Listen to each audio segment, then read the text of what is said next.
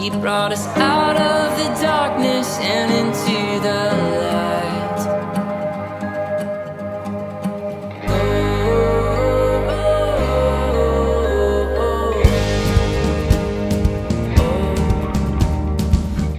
Hello, welcome to our day 9 of our Enlightened series.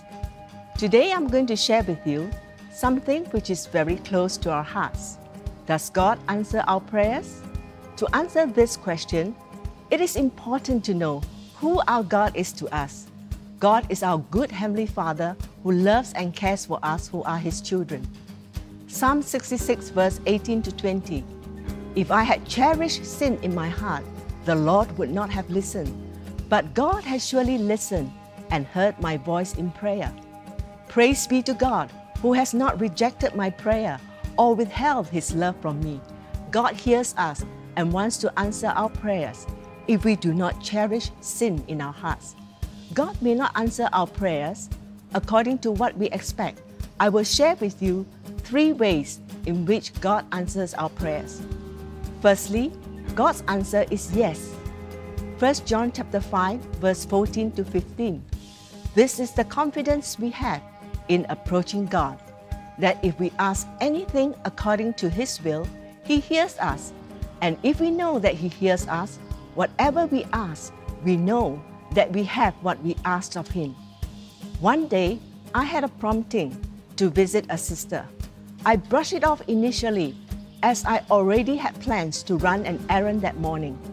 The prompting came back again and I decided to visit the sister. She was very surprised to hear my call and visit because she had been crying to the Lord for help as she was going through some personal struggles. We ended up sharing, and after praying for her, she felt set free. God's will was to set her free, and the answer came immediately for her on that day. We were encouraged and felt thankful to the Lord. Secondly, God's answer is wait. It means God will answer our prayers, but not according to our own timing. I had a ganglion on my right wrist, which is a cyst filled with thick fluid. I did not seek any medical treatment, as it did not give me any pain. I've been praying for God's healing for several years, but it did not go away. Have you ever prayed and felt as if God didn't hear your prayer? Sometimes I feel discouraged, so occasionally I will remind God to heal me. One day at a staff meeting, a sister prayed for me. It was a general prayer of blessing for my well being. After the prayer, the cyst shrunk 90% in size. I got so excited and I asked God to complete the healing. Praise God, the cyst never appeared again. Is there something that you have been praying for and the answer has not come? It is easy to feel discouraged and want to give up praying. Jesus understands how you feel.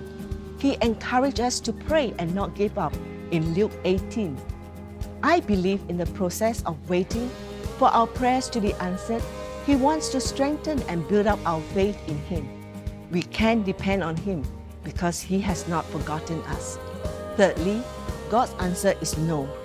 When God's answer is no, we need to trust Him that He knows best and what is good for us.